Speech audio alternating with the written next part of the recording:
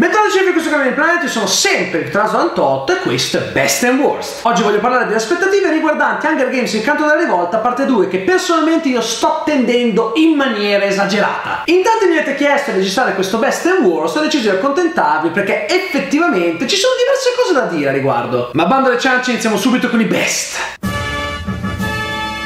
Allora, un primo best molto importante che credo non sia assolutamente da sottovalutare è il fatto che la presenza nel film di Jennifer Lawrence e Natalie Dormer abbia portato le due attrici su red carpet a baciarsi per sbaglio, realizzando così un mio sogno erotico antichissimo. Ma scherzi a parte, anche se non sto scherzando poi così tanto, il motivo per cui io e tanti altri siamo tirati a questo film è proprio il fatto che Il canto della rivolta, parte 2, va a chiudere il cerchio per quanto riguarda la saga cinematografica di Hunger Games. E si vuole vedere come il regista Francis Lawrence Nolan sia riuscito ad adattare alcune scene che già nel libro sono molto complesse sul grande schermo. Quello che mi interessa particolarmente è anche vedere se saranno rimasti abbastanza fedeli ai libri come hanno fatto finora oppure se per l'occasione decideranno di prendersi delle licenze magari cambiando qualcosa nel finale e sinceramente i presupposti perché questo avvenga effettivamente ci sono. Lawrence deve essere stato molto bravo nella messa in scena perché ci sono alcuni momenti che sono davvero delicati. Basta un piccolo errore per mandare tutto tutto puttane. Finora però a me Lawrence ha dato abbastanza fiducia, quindi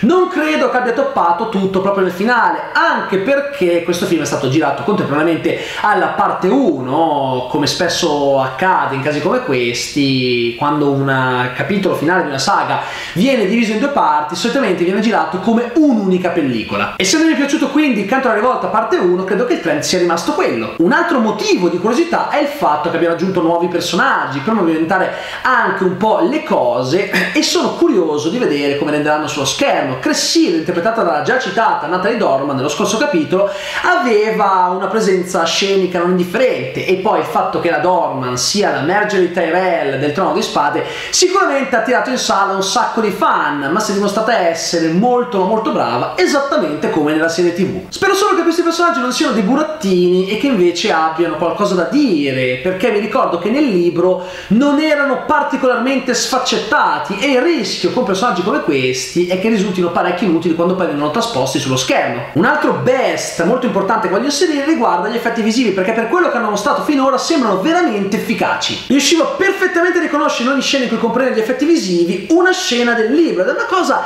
che non mi capita molto spesso, anche se magari vedevo un fotogramma e dicevo cavolo ma quel momento in cui Katniss fa questo o quell'altro e questo mi ha colpito molto perché sembrerebbe che certe scene che volevo vedere a tutti i costi sullo schermo siano state rese al meglio. Mi auguro che questa non sia solo una sensazione, altrimenti mi incazzo. Infine l'ultimo grande best è il fatto che vedremo ancora una volta sul grande schermo Philip Seymour Hoffman scomparso ormai eh, da più di un anno e vederlo al cinema è sempre un piacere perché comunque eh, aveva in ballo film che sarebbero usciti parecchio tempo dopo la sua morte e anche Games il canto volte parte 2 è proprio uno di questi anche se in realtà lui non aveva finito di girarlo completamente inizialmente avrebbero voluto eh, rimediare con la computer grafica però Francis Lawrence stesso ha deciso per rispetto all'attore di eliminare quei dialoghi che lui non aveva ancora girato e di sostituirli con qualcos'altro in modo da non doverlo ricostruire graficamente. Ma ci sono scene che aveva già girato in cui compare in questo film. Certo questo best ha un lato negativo ovvero il fatto che eh, vederlo sul grande schermo ancora una volta coincide con il fatto che probabilmente sarà anche l'ultima volta che lo vedremo al cinema. Ma mi fa molto piacere perché non solo io adoravo Philip Seymour Hoffman ma mi piaceva tantissimo anche il personaggio che interpretava Plutarch. Ed è anche per questo che sono molto curioso di vedere come chiuderanno questo personaggio. Quindi abbiamo visto i best adesso è ora di addentrarci nei meandri putridi dei worst.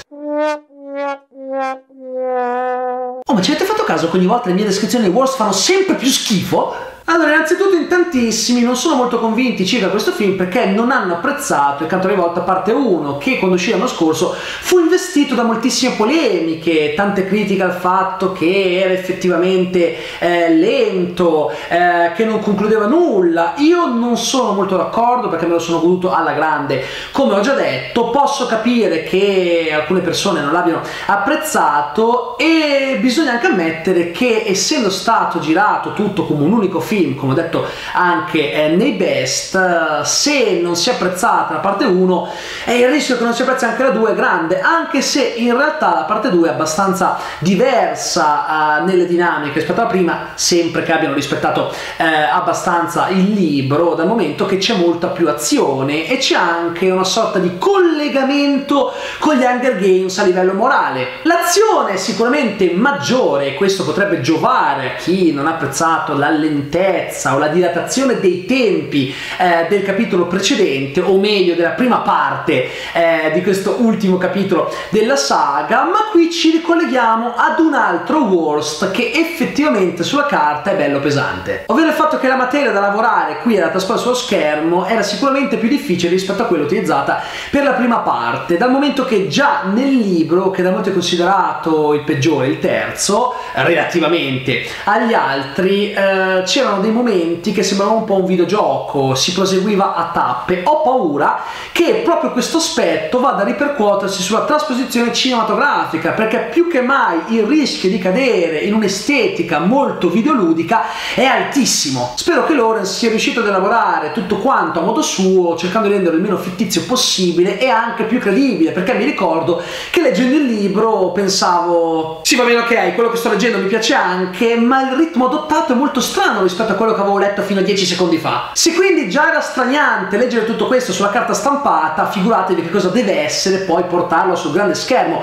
Lawrence è sicuramente stato chiamato ad affrontare una sfida per niente semplice. Quindi diciamo che questi due wars sono un po' figli del best di cui ho parlato prima. Spesso e volentieri capita che un lato positivo ne nasconda uno o più negativi e me ne sono accorto adesso che ho iniziato a realizzare i best and worst. La mia più grande paura è che abbiano cambiato drasticamente il finale e i suoi toni, come già paventato nei best, perché nel libro, proprio nelle ultime pagine, c'è una sfumatura che trasporre sul grande schermo è veramente difficile dal momento che è qualcosa che rende solo se la si vede scritta sulla carta. E eh, sinceramente eh, mi auguro che non abbiano tolto alcune cose fondamentali perché il finale del libro che tanti avevano all'epoca considerato brutto eh, per niente all'altezza delle aspettative a me invece ha colpito per la sua crudeltà per il suo essere mordace quindi anche se hanno variato qualcosina mi interessa che questa atmosfera sia stata mantenuta. Perché se non l'hanno fatto io? No ma seriamente a me dispiacerebbe perché mi piace molto Hunger Games e, e trovo la trasposizione cinematografica molto interessante che, che ne dicano molte persone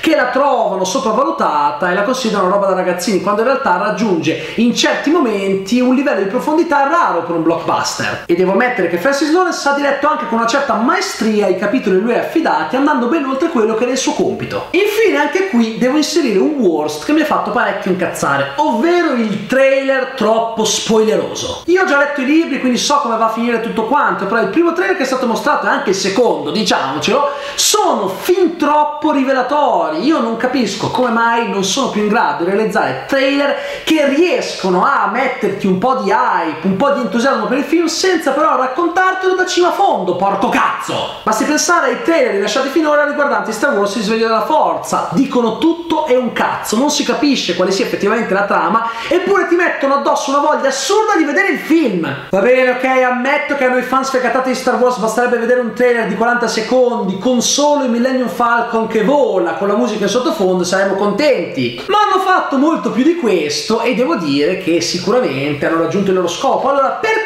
non fare la stessa cosa con un film come Hunger Games il canto della rivolta parte 2 mi chiedo? E invece no devono mostrarti un sacco di cose mostrarti rapporti che crescono e che muoiono. Insomma certe cose era assolutamente eh, necessario non mostrare porca di quella pupazza. Infatti io invidio le persone che non hanno visto il trailer e che hanno fatto benissimo. Se ancora lo avete guardato e per caso in sala parte all'improvviso mettetelo con l'indice all'orecchio e fate guardando in